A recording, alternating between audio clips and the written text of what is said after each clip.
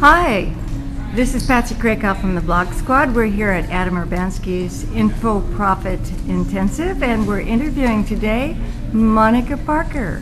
Hi, Hi. Monica. How are you? Good. How are you? I'm doing great too, thank you. Tell us about your business, the name of your business, and the name of your website. Sure, again, it's Monica Parker, and my website is leavingthelaw.com. I help unhappy lawyers find and pursue fulfilling work outside of the law. Unhappy lawyers, my goodness.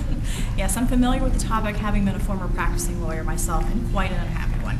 Are there a lot of unhappy lawyers out there? Let's put it this way I can count on one hand the number of happy lawyers, and I'm not completely using the hand.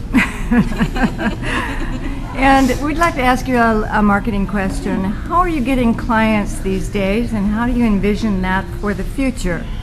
Great question. Well, I'm getting them a number of ways. For starters, I got lucky. Early on, I got interviewed for an article that was syndicated online, so that was the first way. I also have an email newsletter, Lawyers on the Move, that my subscribers can get, as well as a free report, Seven Reasons to Leave the Practice of Law, and what you will find on the other side.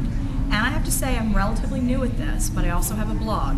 And what I've noticed is the more I post on my blog, so I try to do it two times at least a week, I'm beginning to get some responses and some traffic from that. So that strikes me as the next thing I want to focus on. And what is the name of your blog?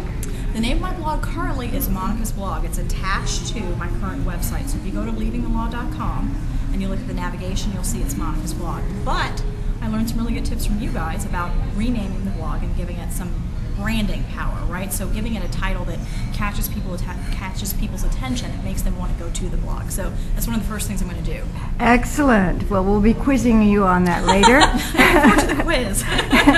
and I want to remind our listeners that Monica works at leavingthelaw.com. And we thank you very much for your time, Monica. Thank you.